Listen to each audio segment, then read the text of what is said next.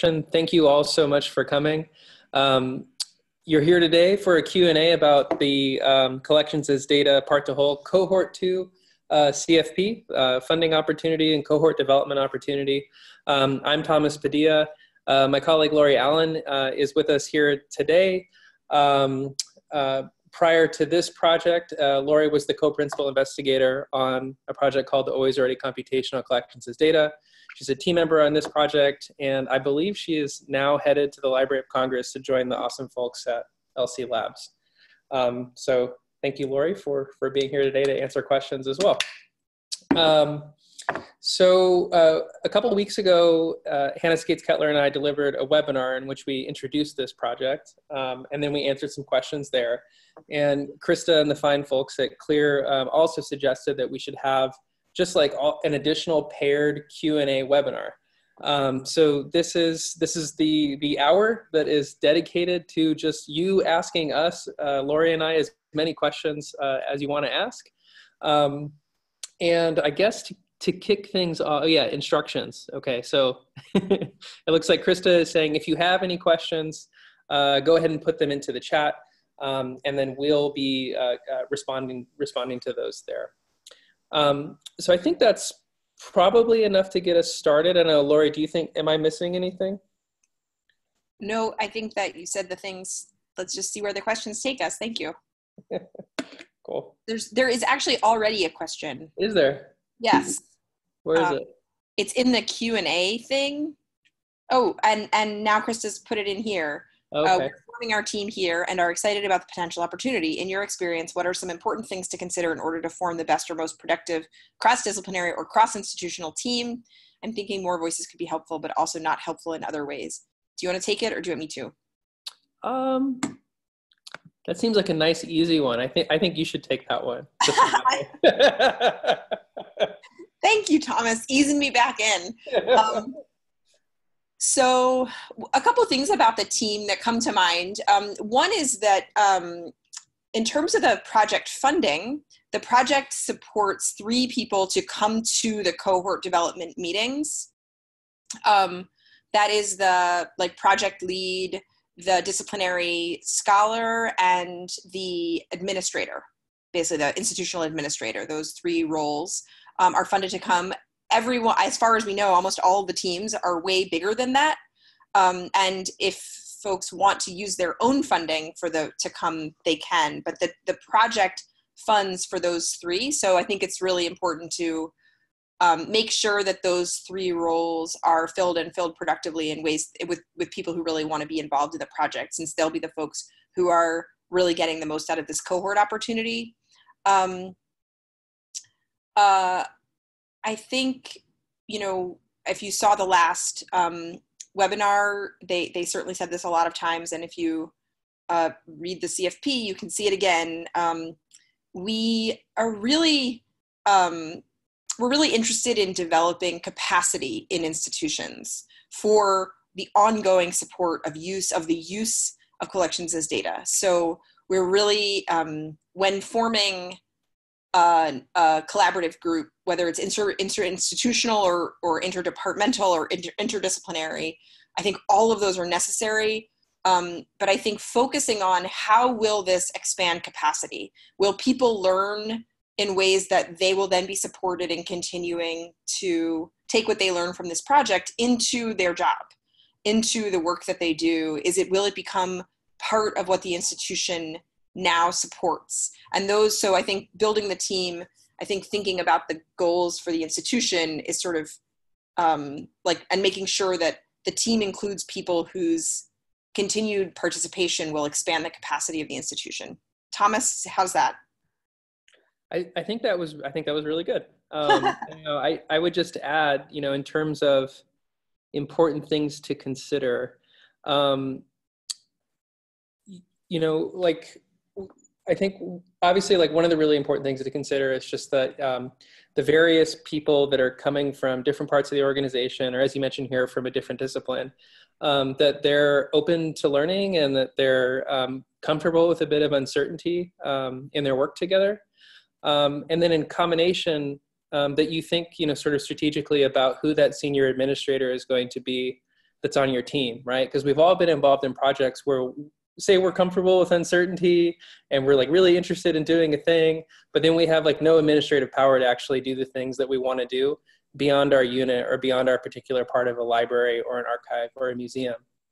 So concretely, you know, that, that bears on, you know, who's going to be your senior administrator in your project um, and can they help you sort of clear paths to doing the work that you propose to do? Yeah, and and Thomas, the next question is is to ask to talk a little bit more about the senior administrative person's responsibilities. Um, yeah, I, I mean, do you want to do you want to pick that up? Sure. I think I'm just going to echo what Thomas said. I think uh, when we looked at proposals, and uh, we're we're absolutely open about who it is, but I would say the the the further up because institutions are different sizes and different scales, but the further up the organizational chain you go, I think the stronger we felt it would be, in part because in the experience of the people on this, in our experience with the last project, learning about how organizations do collections as data across the board, we just kept seeing that people were empowered to take risks or move across organizations for a, a little project.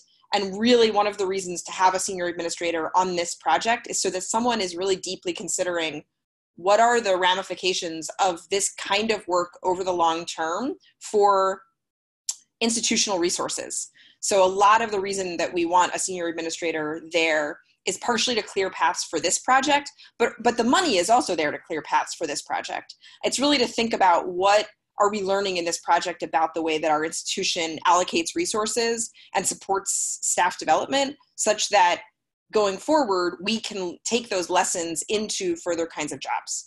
Um, and so I think the um, the senior administrator's role is absolutely to support the work of the project team and to participate in that work, but it's also really to take seriously the learning opportunity for what does this mean about when library staff or museum or archive or cultural heritage organization staff work across um, departments what's heard about that.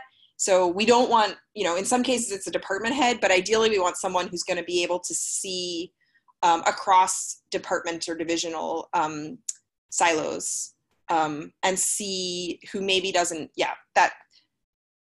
So what their role is kind of depends but the reason we feel like that's really important is because it it seems like it's often much easier to do a collections as data project than it is to change the work of the institution so that it supports this as something that the institution always does. And we want someone in the room who's in a position and whose job it is to think about that.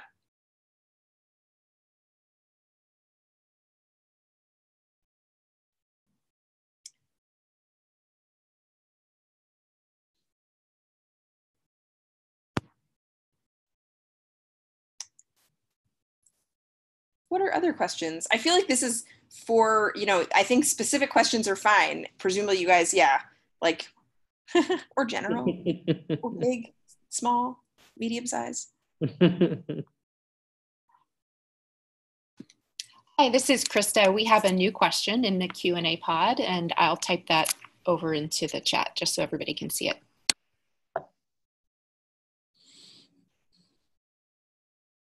Oh, great. Yeah, Thomas, why don't you take that one if you're willing? um, As it is not nice and easy. Okay, yeah. So it is in the it's in the chat now. So let me just take a sec to to read it. Um,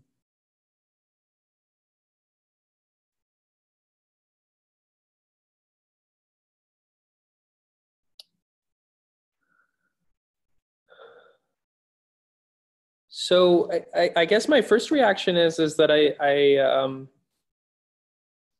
I don't know. I, I always tend to work on projects with a lot of cooks. So uh, I, I, guess I come out on the end that it's mostly a good thing. Uh, so uh, I would say that it's I would say that that's good. I, I don't I don't see it as as uh, detracting from the project to have two disciplinary scholars, one in media studies and one in data science. Um, without knowing more about the project um, or the proposed work, um, I, I, you know, arguably it could be essential um, to have a combination of, of something like data science and something else. Um, you know, especially given that in the projects that we're seeking to support, there is a really heavy emphasis on um, supporting work that is ethically grounded um, and that speaks to underrepresented histories. Um, so I, I, think you would need, or it would be advantageous to have a domain pr perspective as well. I don't know, Laurie, what, what would you say? That sounded great. Okay. oh, we will read the question for the benefit of the recording. Oh, okay. Yeah. Thank you. That I think Thomas kind of he spoke to the content of it in the answer. Um, yeah. I mean, I think uh, I'm just sort of to reiterate while we wait for the next question. Um, I think we are. Um, I think it, you know maybe too many cooks, maybe not. Depends on the cooks. Um, but but as Thomas said, arguably that's all necessary.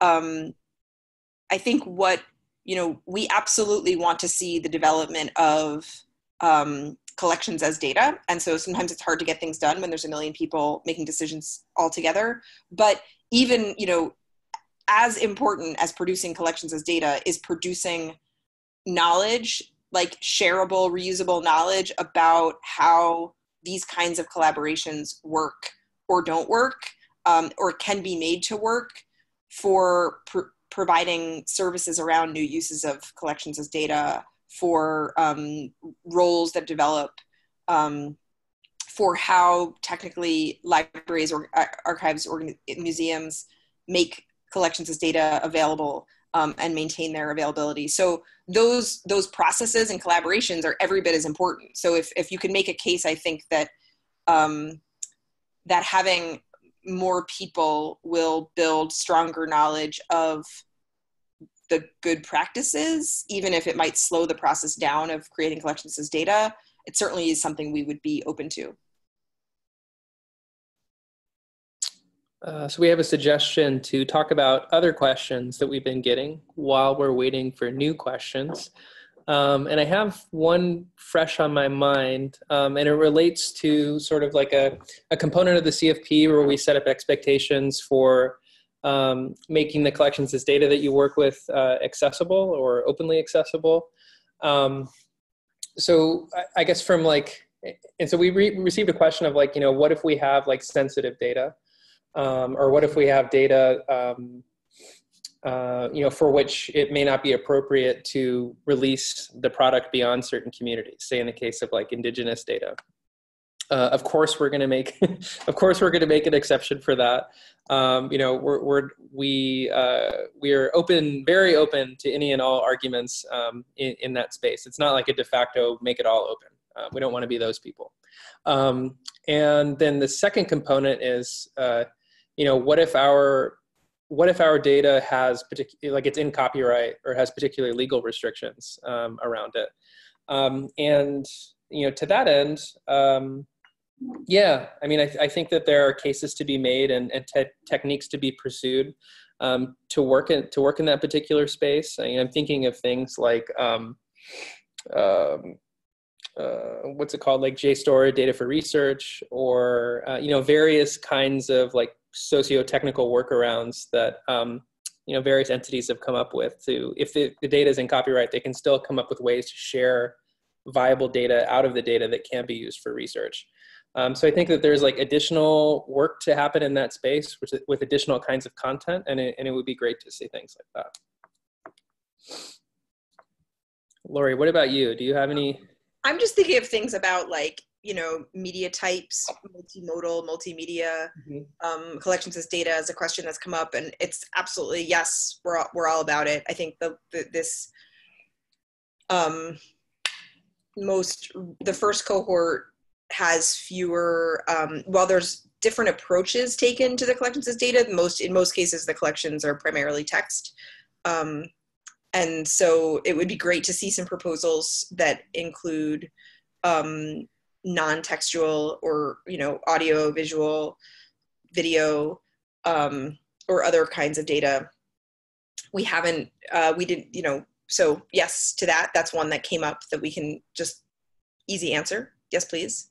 And again with a copyright like yeah eh, which given that that content often has richer copyright restrictions. We're totally, I mean, very open to seeing what proposals come forward. I think we'd be really interested in some that um, have creative ways of obeying the law and still making materials um, and still making good scholarship available, data available. Um, what are other questions we've gotten? Uh, we've had questions about whether or not there can be team members from multiple institutions, um, and the answer to that is yes. I know. I feel like all of our questions are like, yep, yep. like if we would accept a proposal from mul- that are multiple institutions are joining together, like yes, yes, we mm-hmm. would. Mm-hmm. Uh, um, maybe some things I think I would want to know. Um, last time around, we got, um, I think we think we got 20 proposals. Um, all of them were great in a way that was like pretty difficult. Um, so, uh, and I think, you know, we certainly are getting more interest earlier this time. Um, we were looking for um, a cohort that made where we felt like the people in the cohort could learn from one another in addition to all of the things in the CFP. Um, so we did revise the CFP this time based on what we what we saw last time. Um, and so I think it better, it's easy, it's more reflective of what we felt like we were looking for. And almost most of the people, I would say last time, most of the people who, not most, like half the people who applied had done a phone call with one or one or more members of the team to talk through their proposal before um, they submitted it, and we were uh, open to that. I mean, I think one of the reasons for these is to get some of those um, questions answered.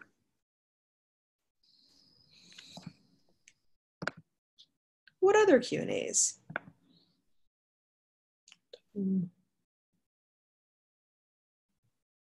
Um, the gray line, what should be, ah, ha, talk about please that gray line between what should be done and presented in the proposal versus what should be completed as part of a successful project. Great question. Um, what should be, so, okay. I'm going to give it a shot, Thomas. Okay. I remember having a conversation with um, with someone who worked at a granting agency about um, before we went to Mellon for this, and they talked about how amazing it was the idea of regranting and how amazing it was to see that in some cases the act of writing a proposal even when it didn't get funded was enough to get an institution to have all the kinds of conversations that they needed to have. And that in some cases they could self-fund a project and the thing that they needed was actually just to get the right people sitting in a room making a plan together. Um, and i think that's um, really appealing like you know that was one of the things that's exciting about this is that we are getting all these institutions to think through what would it mean for our institution to try to tackle this project um, the money part um, needs to be helpful. Like, so we did see proposals where we were like, this is amazing. We really, really, really hope that they can do this. And it's not clear that they can't just do this. Mm-hmm. Um, like, if, you know, that this institution can't just make this thing happen. Um, so the gray area, I think, um, where you need the money for um, like we we really want to learn how to do two weeks of intensive work on this thing that we just don't have our staff simply don't have time for unless we you know like bring in an expert to whatever or unless we send them to some learning ex- um, experience or um,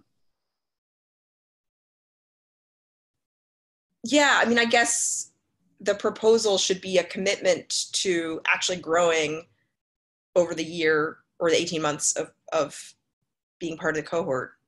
I don't know if that really answers that. Thomas, can you do better? I, I don't know about better. Uh, maybe just like maybe like a little like an, an addition. Um, so I don't know. I mean, I, I'm. This is kind of taking me back to like some workshops that I that I took when I was at Michigan State about like how to get external funding.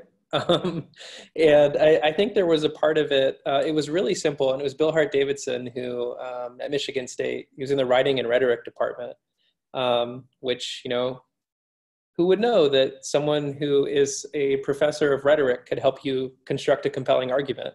Um, but um, one of the things that he said was that you know the mo- one of the most important parts of the application is to you know just try and evidence that um, that you have the right people in the room to do the thing, um, that you have some grounding in the work that you propose to do, um, and that it appears that you can do that thing. Um, so I think that's actually pretty, it's pretty straightforward. It's like, you know, here's my team, here's our context, here's the thing that we want to do, this is why it's needed, and this is how we propose to do it. Um, yeah, Aaron, maybe if you want to say more about the question, I feel like what Thomas just said is like totally right on. Like, um, I will say that you know we had a I've had a related question recently um, come in about this CFP where uh, it was kind of similar to your question, but like flipped a little bit. It was like, can we seek funding for an ongoing project? So like the project was, the project they were proposing to seek funding for was kind of established. Um, and then they, they wanted to know if they could seek funding to continue to build upon an established project. Um, and the answer to that is yes. Um, at, at the same time, it's like, we also want to help people start things. Um, so I, I, don't think it's necessarily required that you have like, you know, two, three, five years of development on a project. So she says, in part particular, I was interested in the model development, which we would like to do in part as part of the project, or I should say they said. Um, I mean, we are super interested in the model development um, as a as an outcome of the project. It's truly like we we everywhere we talk about the three things that we want to come out of each of these and two of them are models and one of them is a collection as data and that is on purpose um, and the inflection of all of those with um, uh, reimagining the the ways that libraries and archives and museums can be ethical participants in the world like that's the that's the thing that's the project um, you know, so yes, we are super interested in model development. How can this be made to work? Um, as as every bit as important as producing a collections as data, and that's why the that's why this um, project exists. It's yes, collections as data, but we already know collections as data is possible. The question is, how can institutions organize themselves to support the use? And we don't and we think it's hard. And so we're providing funding for lots of pe- institutions to try it in lots of ways. Um, so if your proposal is all about that, with yes, here's a collections of data that we're going to do, and the the part that's important is the the reason that there's that collections of data has to be there is actually because we really want to see institutional practices connected to real um, questions, real you know that are that are coming that are connected to communities, scholars, scholarship, um, so that they're um, made for use, basically, for real uses.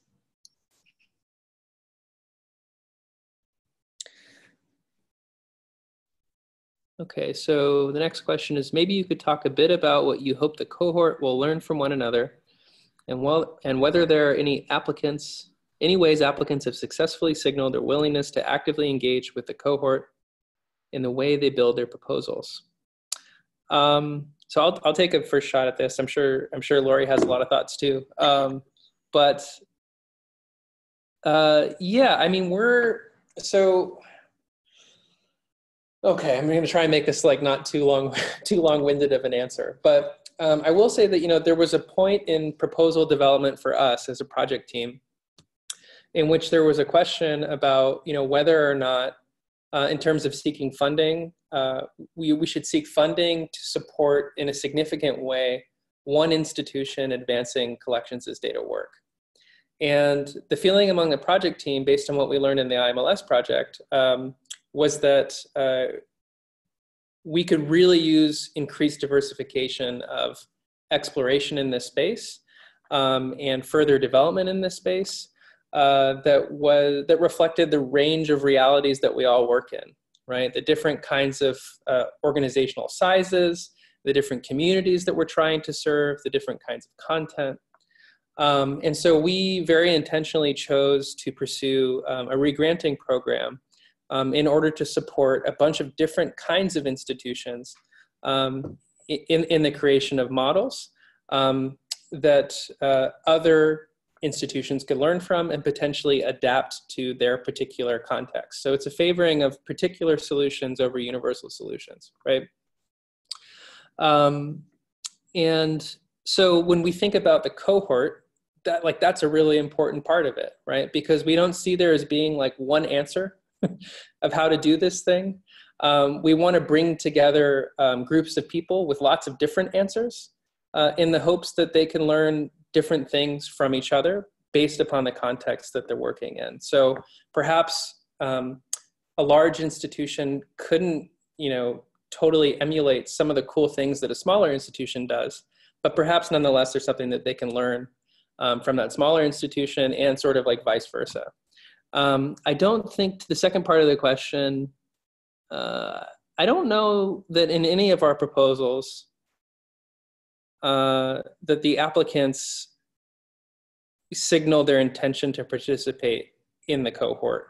Although, anecdotally, we do gather that people in the current cohort are enjoying it very much and find it to be valuable. Um, we intentionally have, so basically it's like um, funds are made available in January of the new year. And then within a couple of months, we bring you all together as a cohort for professional development activity, uh, intentionally toward the beginning of your project. So that knowledge exchange happens toward the beginning rather at the middle or toward the end. So that there is the opportunity to learn from that interaction with the rest of the cohort. Laurie, would you, what would you add? Oh, just about the cohort part. So I don't think we, I don't know what to say about how to signal or how people have yeah. signaled that they're interested. I mean, we did a lot of trying to figure out, trying to build the, the first cohort such that we would be sure that everybody would be able to learn something from someone and be able to teach something to someone. So maybe someone was there because, you know, th- th- that was something we looked for and will, I think, I hope continue to look for um, among really just a bunch of extraordinarily strong proposals um, I think in terms of the um, the timing of the, we know that like you have to you to get so specific in the development of the proposal. So having the first cohort meet, as Thomas said, a little early, but not so early that you haven't actually started working. Like the idea is like you should have you had this plan, you made it, you put it in in the summer or the early fall, and then in January the money comes and you're supposed to start doing it. And so we wanted that cohort time to be a time when you've started working on it so you've begun to to to um, hit reality and that's the time to come together and say okay where we had our proposal everybody signed up for this thing now we're starting to do it. What can we learn from each other now? Um, and then and so i don't know i think uh, yeah. I, I you know maybe i guess just being reflective about what are you a model of? Are you a model of a large institution working in a particular discipline?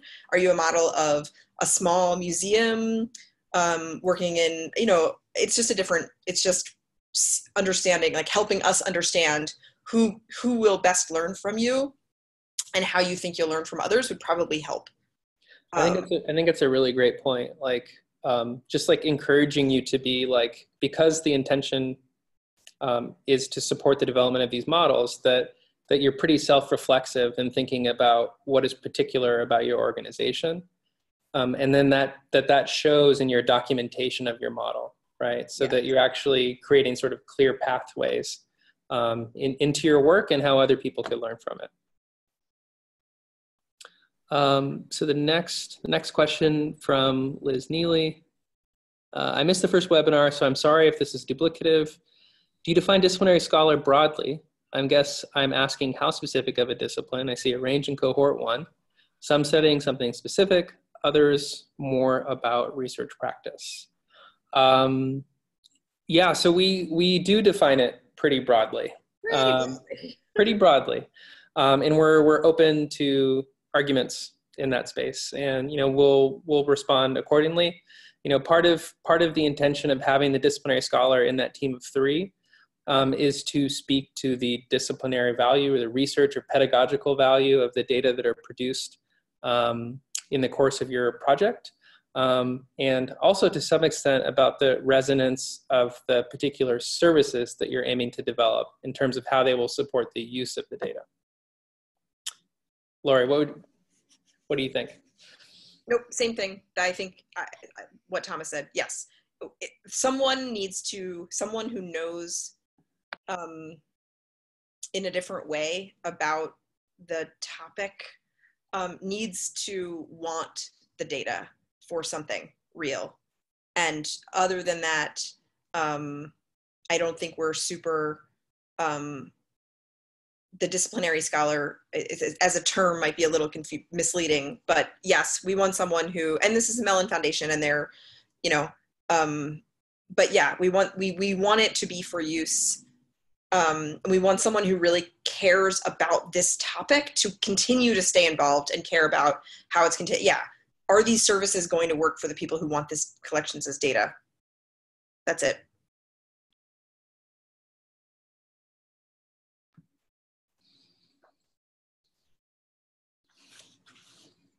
What other questions have we run into, Laurie? that one about i feel like a bunch of people asked us like where should the administrator be but we've answered that mm-hmm. mm-hmm. um, interdisciplinary uh, i think we did a better job i'm thinking last time because we I, I remember hearing more questions last time and last time we got the question over and over again like it really seems like your proposal is about libraries um, and that has to do with our own accidental we all work in libraries um, but we mean archives and museums too. But I think the fact that the, the cohort that we funded for for uh, round one sort of helps clear that up a little bit. Um,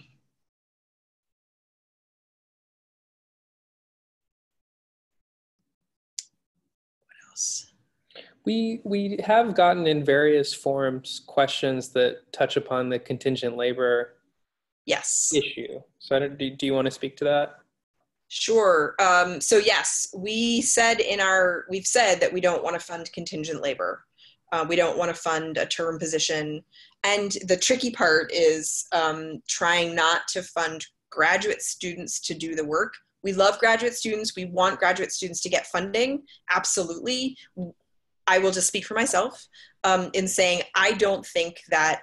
Um, I think having graduate students do new cool projects and not having institutional staff who are there over the long term um, get a chance to learn those skills, get a chance to where all they're doing is managing a graduate student in the doing of this cool thing. I don't think that's a way that libraries grow or institutions grow. Um, and so we really we are we are open to the occasional graduate funding opportunity, but we want the project to help the institution change and putting institutional change in on the backs of contingent staff is unfair um, and ineffective um, and it's unfair to the contingent staff and it's unfair to the um, long-term staff who are um, who are not given an opportunity to do cool things. Um, so we really are interested in creative ways of using money that isn't about hiring someone to do the cool thing while we keep doing the things that we think are really important. Because if you because we want to see collections as data. I'm just speaking for myself. This is just my I'm, i bet thomas was like laurie do the thing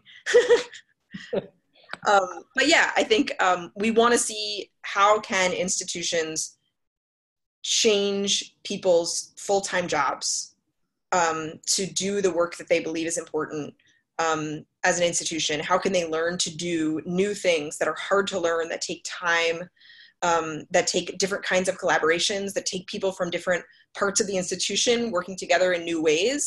And can we provide funding that makes space for those kinds of collaborations to grow um, and the, the new roles to emerge in a way that isn't just about bring on someone to make something cool and then we'll have it. Um, so the contingent staff is something that people asked about a lot because it's it's such an obvious way to spend grant money.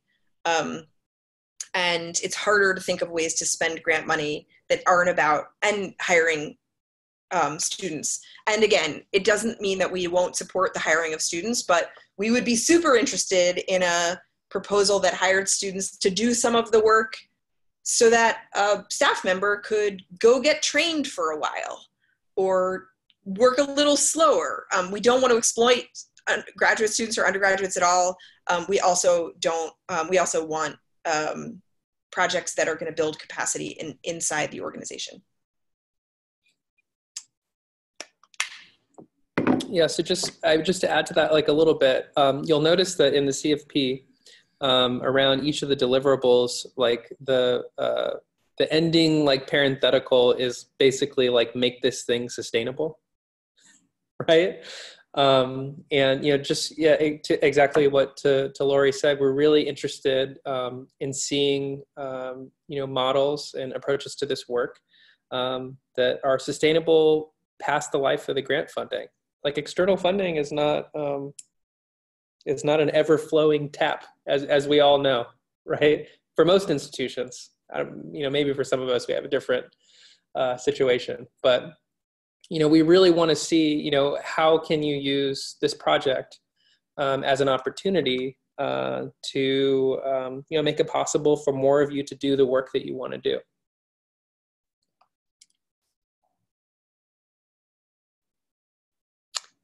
Uh, so in case it's helpful, do you get many other questions about budgets? What's good to include, what's definitely not to include, etc. Um, digitization. Mellon doesn't pay for digit. Mellon doesn't pay for digitization. Yeah. That's just Mellon. Uh, Mellon doesn't pay for what are they called? You can't like buy stuff. Like, you can't buy equipment really. Yeah. Um, you can buy food. You can yeah. buy food. This was um, actually. What is it the like university overhead Mellon doesn't pay for? Yeah, there's no overhead. Yeah, I mean it's it's pretty it's pretty straightforward uh, in the CFP. I, I think everything that Laurie just said. It's like yeah, like you can't can't use it on stuff. Can't use it. Can't use money to buy equipment. No digitization, um, and very helpfully for some of us, um, no overhead. Right. Yeah. Um, I think a couple of people did ask about right. What about more people, different people using the funds for um, for the cohort stuff? I think I answered that at the beginning. I mean, the first go round, honestly, we had a much larger range. The first cohort, we said 30 to 80,000, which was our mistake. Um, mm-hmm. That everyone asked for the maximum amount of money, and then we had to spend a lot of time reducing everyone's budgets. Um, mm-hmm. So this time we, we did it. So like last time, I wish they'd asked more questions. Um, uh, this time we just said 50,000 because that's actually right. Yeah, I think um, yeah, that's right. Uh, just like thinking about the budget thing, it, it would be. We did try to encourage for some proposals um, more funding allocated to like professional development, right? So if it se- so if it seemed like most of I don't know the development work was being kind of shifted off to one person, um, that um, was sort of contingent. We we might encourage, you know, hey, maybe other people on the team, you know, it would be a good use of the budget to to create some development opportunities for them.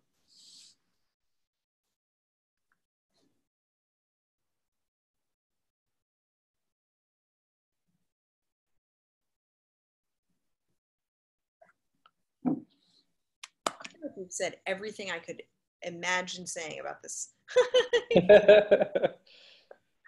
Oh, thanks, Chad.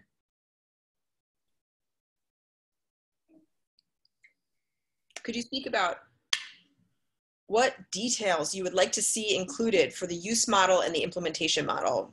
Um, we haven't seen these yet, but like I would like to see like like job descriptions, like what jobs are going to exist that may like you know um, as a result of this of this project. There's going to be like someone's job is going to change, and I, you know that that would be um, that's one that I'm really hoping for is like new and also new teams. Like we are going to have um, a workflow, a workflow that where you know um, a request comes in here and it goes to right to the metadata specialists, and then it goes to uh, a developer, and then to back to the I you know I'm just making up, uh, but that things like that that sort of specificity eventually would be really cool. Um, like oh this question comes in it, we need to subset this giant proprietary data whatever um, and this will be the workflow and it involves these technologies and these um, these kinds of expertise. Um, that i think are hard to come by in, in institutions currently thomas what else yeah, I mean, I, I think this is kind of like one of those questions where we can kind of, um, where we tend to kind of turn it back to you, right? So if you were, if you're, you know, thinking self-reflexively about your organization and the work that you're proposing to do, what is the collection of things and documentation um, that would make it easy for another institution to understand what you did, and then possibly for them to um, adopt some of what you've done um, in their context. So I think that, like Laurie said, that could be like job descriptions. Um, it could be, um, you know, within that, like percentages of time. Um, it could be combinations of different roles. It could be workflows. Um, on the implementation side, it could be code. It could be do- documentation about your infrastructure. Um, it could be a bunch of different things. Um, yeah. yeah, I don't know. What, what, were you saying, Laurie? Oh, it's just like a no, thumbs up. Nodding with my mouth. Sorry. Yeah. Yeah. So um, so in a way, it's kind of like whatever you think would be most clear and useful for your colleagues. Maybe it's like you have a charter within your library that explains charter. how you work together on whatever. Um, but it is definitely the model part is definitely tied to like how does this become ongoing work and especially the support of the of making but also of using for um, collections as data. Yeah. And like the, yeah getting figuring out what what 12 models implementation models and 12 use models look like is that's what we're about. Which is to say we don't know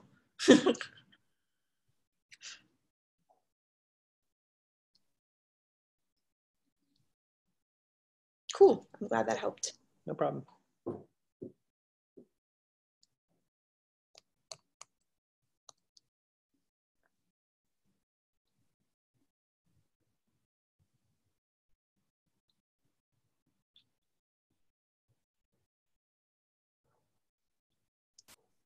What other questions?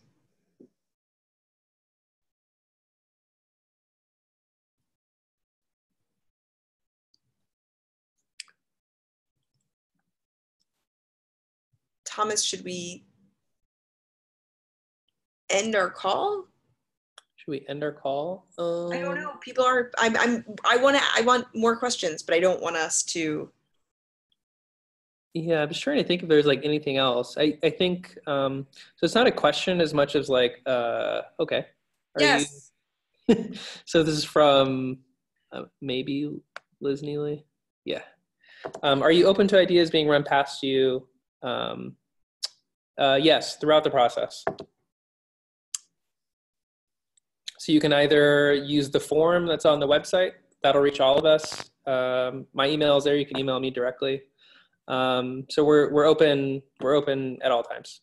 Um, I I'm going to mention because I pro- I probably have, have not changed it everywhere.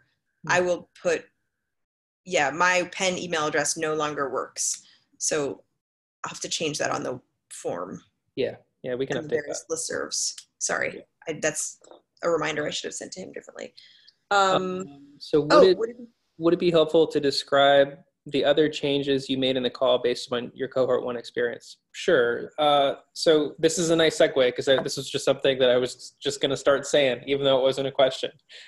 so, um, uh, yeah, so some things that we changed uh, based on the cohort one experience. Um, one of the things that we've tried to be clear about um, in the cohort two CFP uh, is uh, basically like what we expect around the collections as data use model, right? So, uh, you know, based on kind of like reflecting on the experience of the cohort one CFP and the response to that, um, I, I think the way that we wrote the CFP kind of like aligned with some familiarity or comfort that some of our institutions um, have with the concept of collections as data and the idea that um, we have these collections um, we can uh, you know uh, uh, make machine actionable collections for example.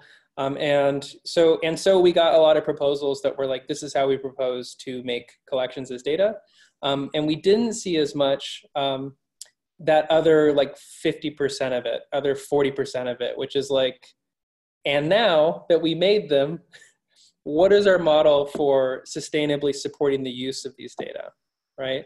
So one of the things that we really tried to do in the cohort two CFP was make that a little bit more clear, right? So stepping before this project and the IMLS project, that was really focused on that, like, how do you um, describe produce and provide access to collections as data. Um, a big part, the a primary part of why this project exists is because we wanted to explore what happens when the other foot drops, right? So it's like, okay, we made the collections available, and it's like, but now what?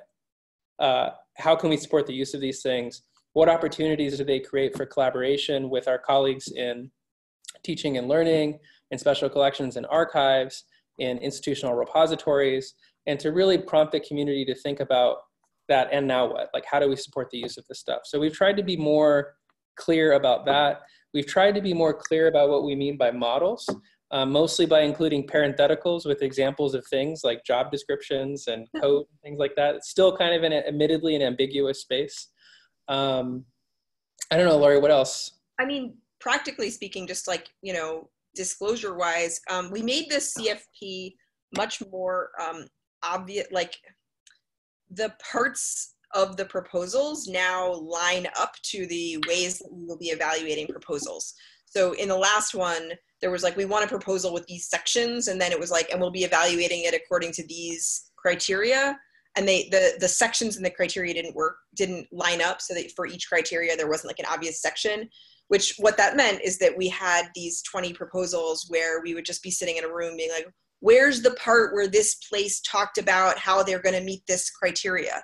And it was um, the the selecting the cohort what felt felt like we were trying as hard as we possibly could to do it in the fairest possible way and it was really hard. So we've we've tightened now like here is what we want in the proposal and here are the criteria that we're using to evaluate and it will be easier for us to see oh we need to see does this place do do they meet this criteria for evaluation or how well do they we know where to look in the in the proposal. And that um that was i don't know for me it, it sounds so minor but as like a learning thing like oh wow i see why they do that when they've got a lot of proposals it's really it just felt like uh, we were drowning in these brilliant ideas and it was hard to to suss out uh, it just required a huge amount of work so that's one thing just direct change we made is that the proposals are a lot more clear where the criteria line up with the proposal. The money changed because we the range was way too big. Everybody asked for the maximum. Um, uh, yep, it, doing a lot better job. Um, thanks, Chad. Doing a lot better job describing what the models are and what we mean by use. I don't, yeah.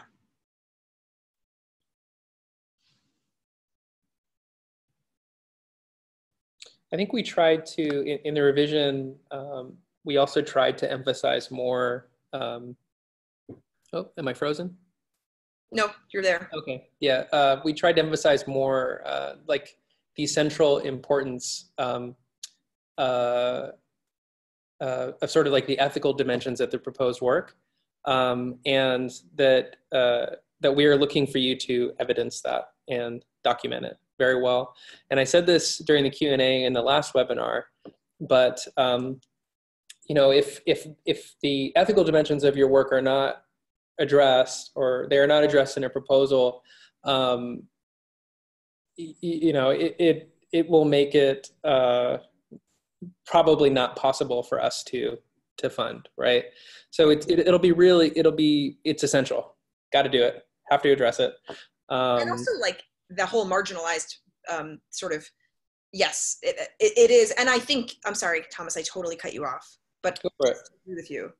Um, it was a thing in the, in the first call, we ended up um, being drawn to proposals that were and we had put it in the call but it wasn't as clear like no this is super important to us we really are going to prioritize funding collections as data that change um, the representation um, t- scales hmm. in libraries archives and museums um, in ways that are just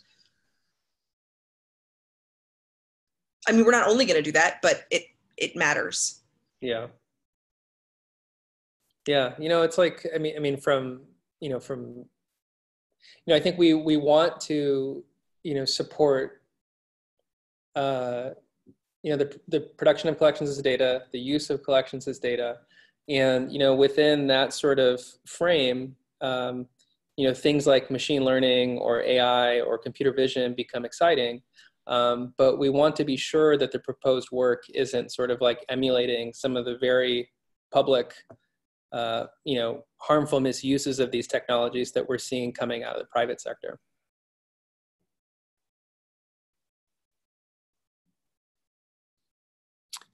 Sorry, that's kind of like a bummer, like last last comment. I'm glad you said it. I'm glad you brought it up. Yeah. It's important.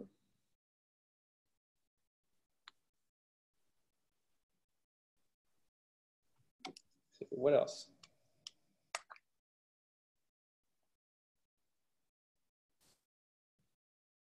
Well, thank you. Well, thank you. we think so too. Oh, good. Great. So happy to hear that. People are liking it if, if you don't see the chats. Yeah, yeah, I can see it. no problem. Wonderful. I'm so glad. Okay, so it looks like we're set to wrap up then. Yeah. Okay, cool. Well, thanks everyone. Um, Thank you so much. If you have any additional questions, uh, like I said, uh, on the Collections of Data Part to Whole website, there is a form uh, where you can reach all of us at once. My direct email is there if you want to email me. Uh, you can reach out to us throughout the process. Um, like Laurie said, many of the people who proposed um, in the last cohort um, did seek us out directly and did have conversations with us. Of course, that's not us trying to set the expectation that you need to like talk with all of us. Uh, you know, I'm sure you're really busy, um, but just to say that we we are available and we're happy to we're happy to chat with you um, about your ideas as as you consider development. So with that, I guess we'll close. All right. Thanks, Laurie. Thanks, everybody. Thanks, Thomas. Thanks, everybody. Bye. Bye.